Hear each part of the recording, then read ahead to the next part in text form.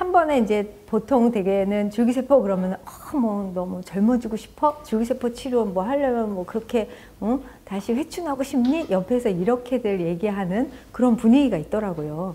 근데 젊어, 젊고 뭐 예뻐지고 뭐 네, 그런 효과도 좀 있는 것 같긴 해요. 그런데 사실 제가 뭐 95세 둘째 낳고 지금 6년이 지났는데 그때부터 이제 노안이 시작돼서 그 책을 보거나 이런 논문을 볼 때 정말 너무 힘들었거든요. 근데 어느 순간 안경 없이 제가 논문을 보고 있는 거예요. 그거를 순간 깨달았을 때 먼저 소름이 쫙 끼치면서 어머 내가 이게 이제 노안이 없어졌구나를 깨달으면서 어 이게 왜 어떻게 된 거지 이해가 안 되는데 막 찾아보니 줄기세포의 어, 치료 효과 중에 노안 개선도 논문의 맨 마지막 부분에 있었어요.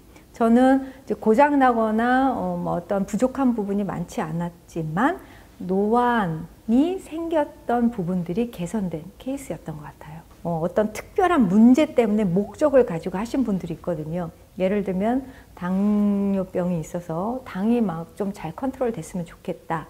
그 다음에 이제 심장 질환이 있고, 그 다음에 전체적으로 뭐 퍼티그, 이제 뭐 만성 그 피로 증후군 이런 것들, 그 다음에 두통이나 허리 통증 뭐 이러한 여러 가지 본인이 고질적으로 가지고 계신 증상 때문에 이 줄기세포 치료를 하신 분들이 많이 계신데 신기한 건 그것뿐만이 아니라 미처 깨닫지 못했던 몸속의 손상이나 부족한 부분들이 개선이 되었다는 거죠.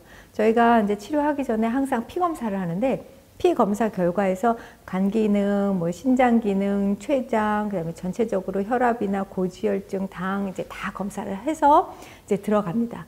그런데 줄기세포 치료를 하고 나면 본인이 원하시던 뭐 췌장 기능이나 당 컨트롤은 물론이고 그 이후에 이제 많은 부족한 부분들도 다 혈액 검사상 굉장히 좋아진 것들을 확인할 수 있었어요. 줄기세포가 몸속에 들어가면 또는 몸속에 있을 때 얘네들은 어떤 신호를 받는지 가장 손상된 곳으로 먼저 가서 그곳을 복구합니다. 굉장히 놀랍죠. 따라서 내가 어 나는 뭐 어, 신장을 좀 고쳤으면 좋겠어라고 본인은 그렇게 원하더라도 신장보다 더 많이 고장 나 있는 곳을 먼저 고쳐주죠. 줄기세포가 몸속에 들어가서 스스로 그것이 어떤 그 시그널 때문에 그렇게 먼저 그곳을 달려가는지 아직은 명확하지 않지만 그렇다라는 것은 다 밝혀진 사실이에요. 그 homing effect 아주 신기하고 살아있는 세포가 자기 몸을 스스로 어, healing해 간다.